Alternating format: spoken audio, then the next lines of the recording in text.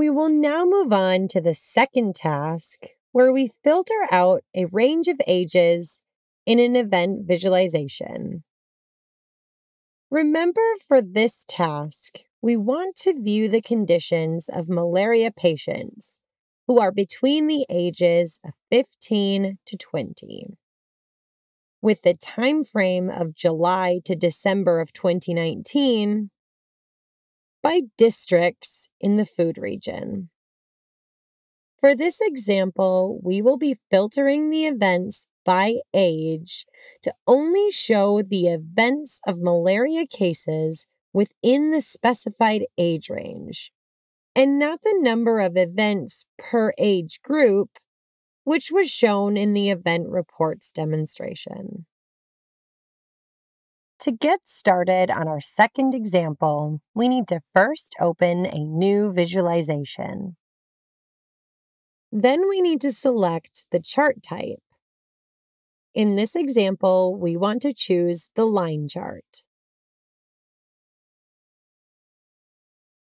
In the Data tab, we will again select the Program and Program Stage Malaria Case Management. Next, we will select the data elements, condition of patient, and age. Remember that for the age data element, we want to only show malaria cases who are aged between 15 and 20. Let's break the age range down more granularly.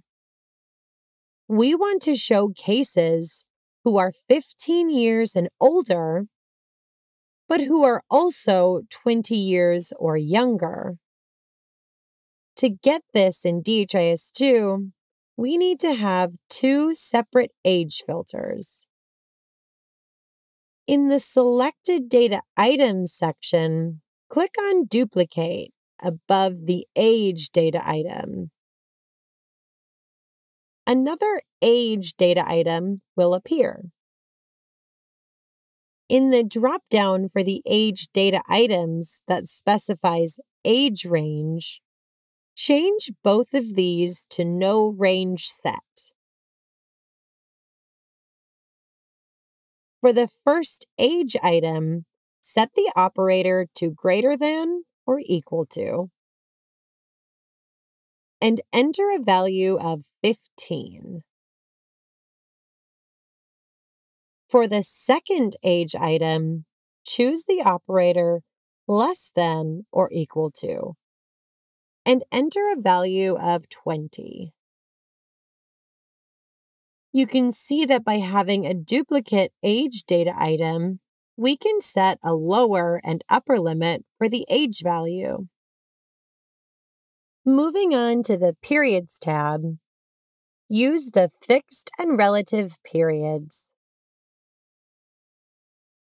Select the six monthly period type and find the period July to December of 2019. Also, ensure the tick mark next to the relative period last 12 months is not ticked. Next, in the Organization Unit tab, open up the Food region and select all of the districts within it. Click on the Layout tab.